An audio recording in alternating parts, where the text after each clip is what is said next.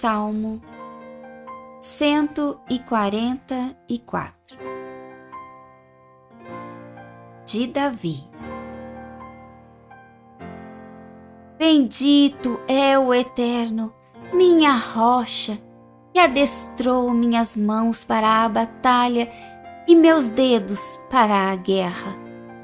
Meu benfeitor e minha fortaleza, meu baluarte e meu escudo, sob quem me abrigo e quem a mim submete povos.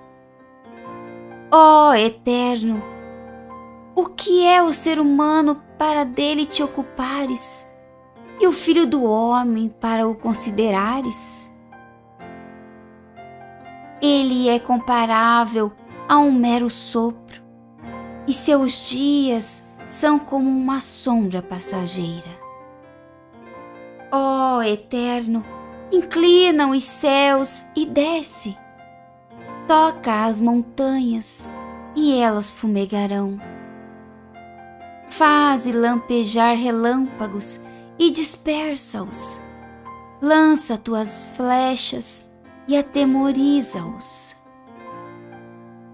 Das alturas envia-me tua mão Resgata-me das águas turbulentas e do jugo de estranhos que em suas bocas emitem falsidades e cujas destras juram em falso.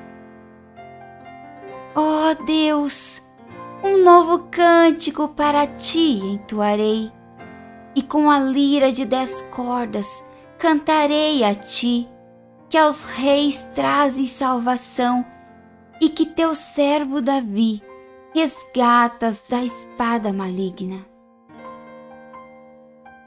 Salva-me e livra-me da mão de estranhos, cujas bocas proferem falsidades e que erguem suas destras em falsos juramentos.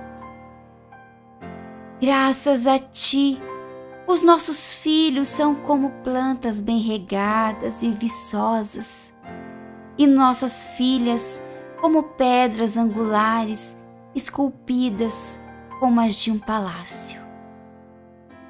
Abarrotados estão nossos celeiros e desmedidamente se multiplicam nossos rebanhos nos campos.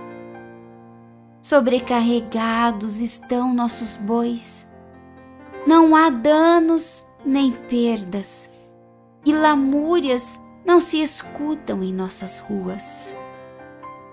Bem-aventurado é este povo, bem-aventurado é o povo cujo Deus é o Eterno.